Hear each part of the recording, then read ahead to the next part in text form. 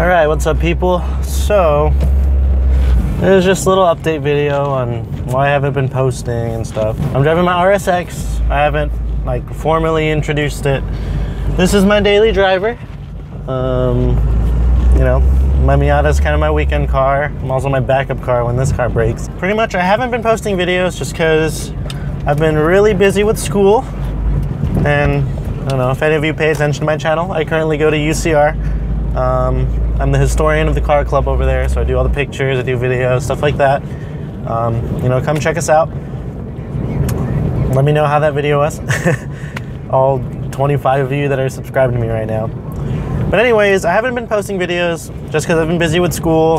Um, I haven't had a super giant budget, so I haven't been able to buy too many parts or anything like that. Um, on top of that, um, I did get in a little fender bender um, in my RSX about a month or two ago. So having to deal with that, um, fixing this car, and actually fixing this car, I did get a lot of footage. I had to replace my motor mounts, I had to do brakes, just a couple things like that. Um, for my brakes, I just bled them. Unfortunately, um, when I did change out my front brakes, I couldn't find my battery charger for my uh, for my camera, so I didn't get footage on that. But I'm sure my rear brakes will need replacing soon, or something squeaking. So I'm gonna have that all opened up. Um, my Miata probably needs some oil soon, so probably maybe a video like that coming up. Um, but on the bright side, I did get some new gear um, on the cheap thanks to Amazon. So as you can see, I can now shoot from a car like this. I've got some pretty cool ideas going with this. Kind of maybe like a Matt Farah review or like one take kind of videos because there are some awesome cars that are driven at UCR. Maybe I could talk a couple of those owners and do kind of that sort of deal. Um, other than that, yeah, I mean, definitely I'm going to be editing all that footage that I have sitting around.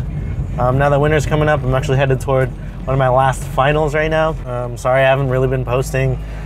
Um, hopefully, I can get some videos, maybe start posting every week, every other week, um, something more consistent like that.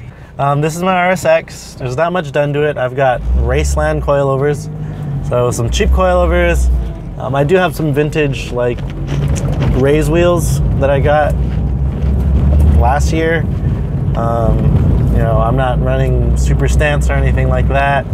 Um, I do want to go pretty low on these coilovers just because this is my daily. So, and I drive like a grandma anyways. Um, what else is done to this car? As you can see, the steering wheel's beat up.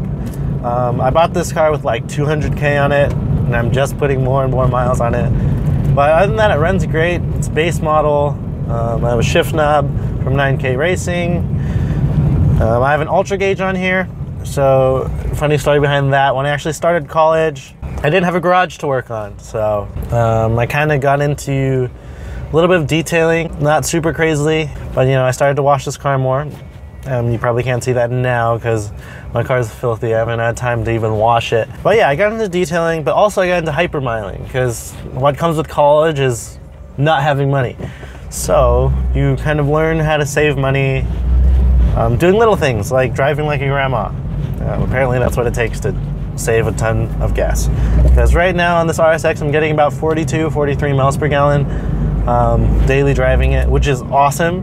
Um, I think factory rated this car at um, 27 with 30 on the highway. It was a base model, by the way. I didn't mention that, probably have. Um, but yeah, I mean, it gets great mileage. The Ultra Gauge is awesome just to keep track of everything. And because it is a daily driver, if uh, if check engine lights come on, anything like that, it almost has a live reading of it. It tells me what's wrong. I just look the code up, and yeah, so um, that's just kind of a little update. You can probably hear that my brakes are super squeaky right now. Um, I don't know what's up. I literally just got new pads. Maybe something's rubbing. I don't know. I'll have to look at that this weekend. But yeah, I mean, that's pretty much the state of this channel. I'm gonna try posting more. Um, if you guys like the videos from from the car club from Drive, I'll start posting some of those. I'll start making more of those. Hopefully, I'm gonna be driving a couple cool cars if people let me. Um, if any of you guys go to UCR and watch this, let me drive a car, stock or fully built or whatever. Um, yeah, if you guys go to UCR, you can see that I'm just driving around campus. So I'm talking to a camera like a weirdo. Um, I'm not hitting any students. I'm looking forward. I'm gonna be trying to push out more content. It's just college is college is busy.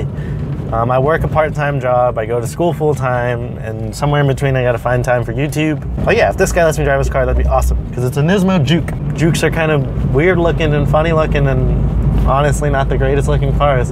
But the Nismo one's pretty cool. It's I think turbo four-cylinder. I might be wrong. Um, there'll be an annotation saying what it actually is, or if I'm right. But yeah, that's pretty much it. Um, I should have a video coming out in about a week or two. And if you are subscribed to me, thank you so much for watching. Um, tell your friends about me, whether they drive Hondas or Mazdas or whatever the heck. This is just kind of turning into an all inclusive channel. I'm not really, I guess I shouldn't say I don't have a direction. I do have a direction where it's just spreading the love of car culture and the joy of cars. But I mean, I don't want to limit myself to like just doing fixing stuff videos, DIY videos, stuff like that, or just limiting myself to like doing like, oh, this is the car meet that I was at. So yeah, I'm expect a little bit of everything from this channel. Um, just it's gonna take some time, and I'm gonna try my best to push out constant, push out content consistently. Thank you for watching. If you are part of my 25 subscribers at the moment, thank you for subscribing. That seriously means a lot. Like every subscriber is awesome. Just to think that people want to watch my weird videos of me awkwardly talking to a camera and wrenching on stuff, um, or even in my car, as you can see right now. But yeah, thank you for subscribing. Um, hit a like on this video. Tell your friends about it. Um,